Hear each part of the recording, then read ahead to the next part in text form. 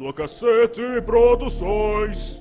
Opa, você aí, quer dar uma ajudinha no canal? Que tal você clicar naquele botão chamado Valeu, onde você pode doar 2 e 50 reais. Isso ajuda demais. Valeu!